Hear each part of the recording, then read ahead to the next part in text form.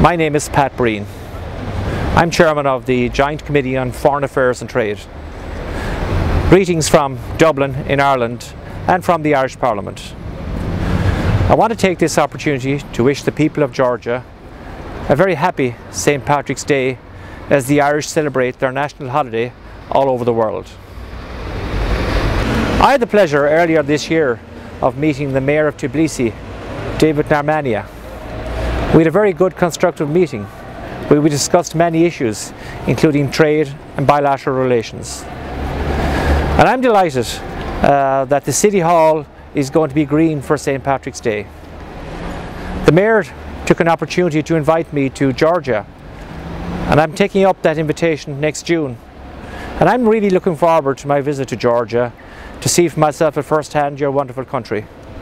I'm really looking forward to my visit next June to Tbilisi to meet the Mayor and to meet other senior political figures.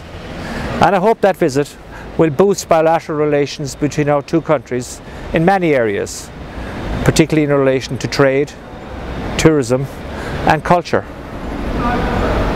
Until then, Kilo Sabt. Thank you.